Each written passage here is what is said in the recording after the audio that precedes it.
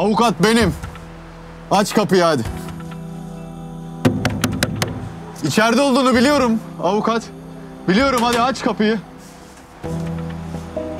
Senin ne işin var ya burada? Yürü.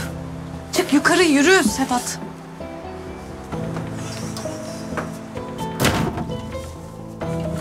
Ya Zeynep burada olsaydı ya yolda birisi seni takip etseydi ya sen delirdin mi Sedat? Delirdim. Ben iyice kafayı yedim artık biliyor musun avukat? Ben önümü görmüyorum.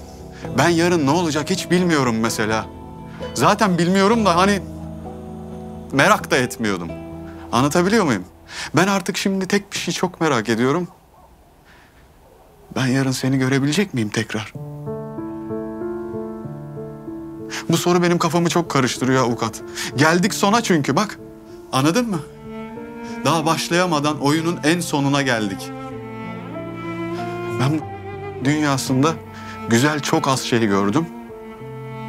Senin gibisini de görmedim avukat. Hani bana dedin ya, sen hiç korkmuyor musun dedin orada. Sen korkuyor musun?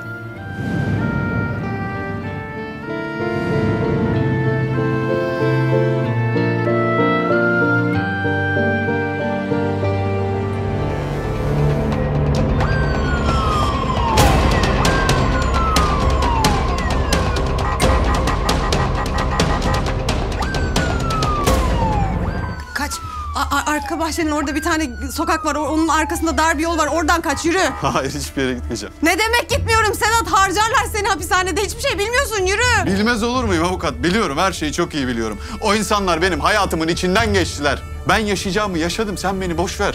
Bu kadarı bana yeter, ciddi söylüyorum bak. Sedat sana yalvarıyorum. Ne olursun git. Gitmeyeceğim. Sedat Talan etrafınız sarıldı.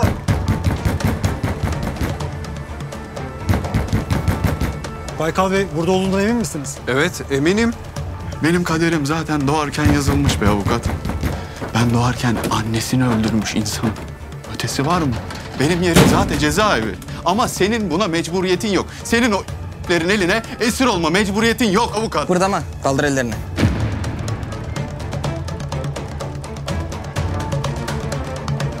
Siz benimle oyun oynayabileceğinizi mi sandınız lan? Ha?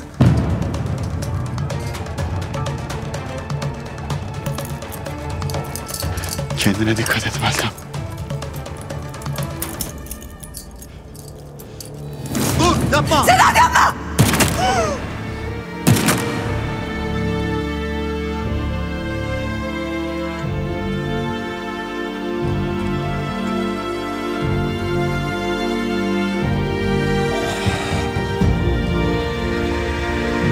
İndir silahı.